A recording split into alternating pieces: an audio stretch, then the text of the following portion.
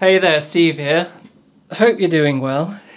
If you click this video, there's a good chance that you want to learn more about math rock guitar. So a few years ago, I released a, a math rock guitar techniques and music theory guide. It was aimed at giving a structured guide to how to learn math rock guitar. Uh, since then, I've made a number of updates, and today I just want to go through the book, uh, just give some clearer understanding of different sections and how it can help you. Just as a brief side note, I want to say thank you very much to the patrons that have been supporting the ongoing development of this guide. If you are one of those patrons, thank you very much. So if you have purchased the guide already via my website, uh, through Teespring or even through Patreon itself, you should have the current edition of the guide in your email box. So please check your spam too, it could be there.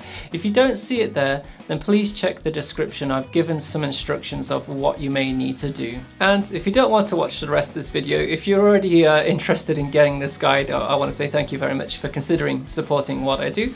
And you can find relevant links for that down below in the description too. Thank you. Now let's get into the geeky details of each section. I just want to show what my aims were and how these sections can help you. So the book is divided into three sections. Section one is to help you learn the commonly used techniques by math rock guitarists. Section two is teaching you some of the basic music theory that I think is useful for learning math rock, for songwriting. Uh, there's also a good generous section on chords in there as well. In the second segment of that section, there's a, a wealth of information about alternative tunings too. Section 3 is designed to move on from the theory and the techniques themselves and putting that into practice, so giving you tools uh, for songwriting. So starting with section 1, the idea here was to give you a guide to the learning the three most prominent techniques that I believe are used in math rock. There's also a section in there as well about the general techniques that you should learn or should know already in order to best assist you in playing math rock. And you could use this as a good guide to see what it is you need to learn. So you could make it a checklist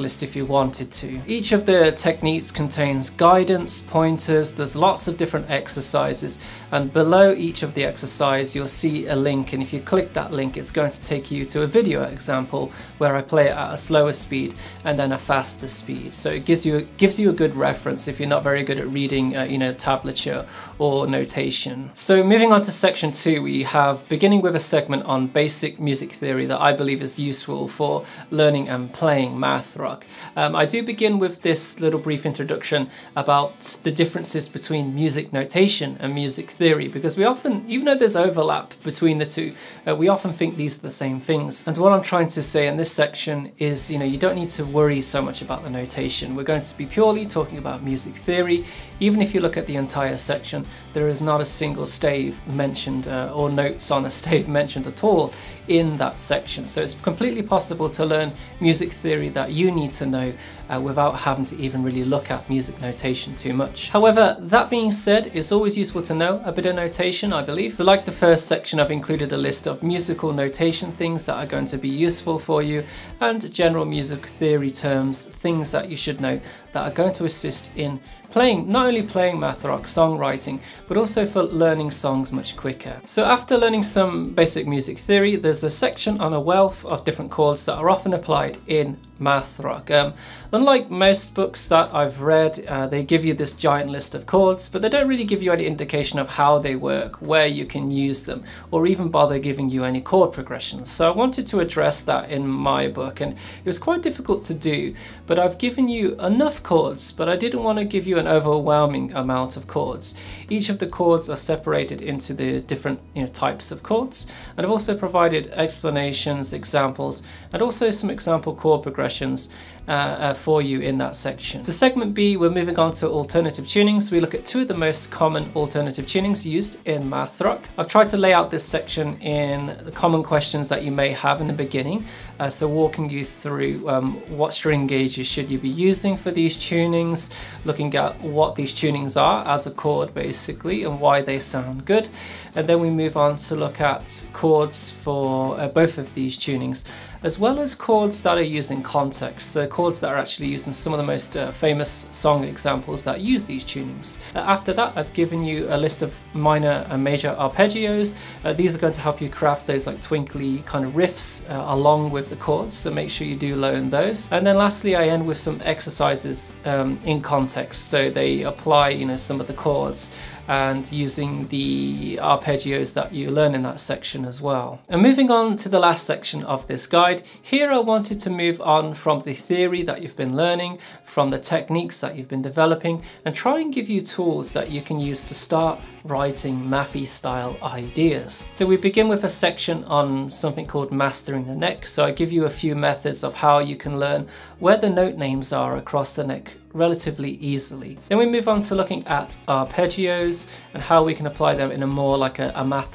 kind of context. So looking at more of um, not conventional melody writing, we'll look at more um, angular styles of melody writing there. And it ends with a section of examples that you can practice using the arpeggios that you just learned. And in the second segment of this section is currently what I'm working on. It's strumming, useful strumming patterns uh, within different time signatures. Currently there's 4-4 time in that section.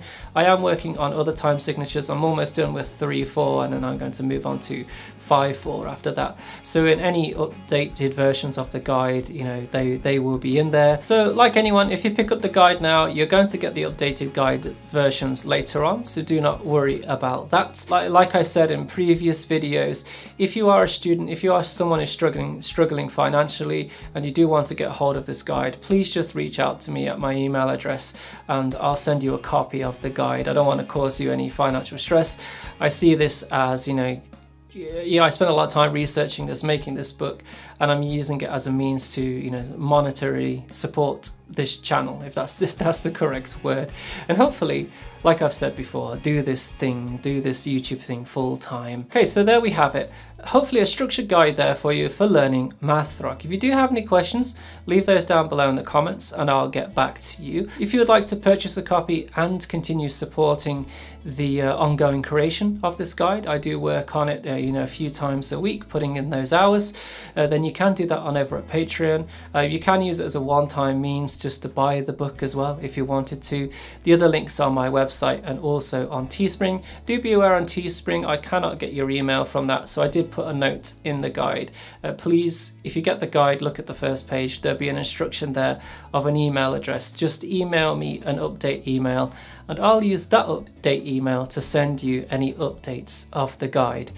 As always, thank you very much for the support. I'm hoping that this guide has been helping you for those who have purchased it already and for those who are looking to learn math, hopefully this will be a lovely structured guide for you. Thanks for watching if you're still here. Really appreciate any of the support and see you in the next video. Goodbye.